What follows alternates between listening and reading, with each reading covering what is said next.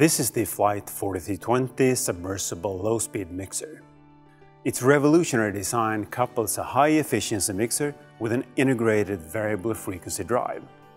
The variable speed makes it possible to adjust mixing to actual process conditions. Wastewater treatment processes are not static, they vary over time. And when you design a treatment plant, mixing conditions are not always known.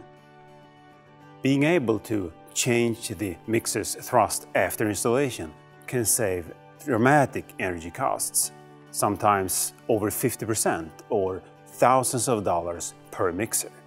With the Flygt 4320, you can use only the energy you need today, while at the same time you're prepared for future increases in demand.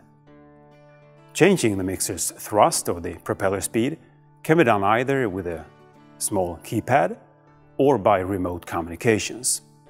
With no external variable frequency drive, installation is greatly simplified, saving costs and time and improving reliability. The Flygt 4320 sets a new standard in high overall mixer efficiency, with a hydraulically optimized propeller and an IE4 equivalent motor.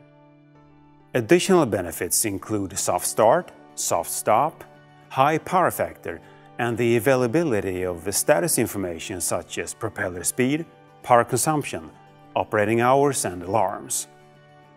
The mixer is available in a wide range of propeller diameters, in two or three bladed versions and with maximum thrust up to 6000 newtons.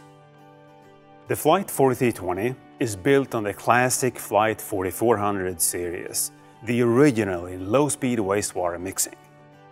Backed by over 50 years of mixing expertise and innovation, the Flygt 4020 delivers the robust performance and reliability you deserve.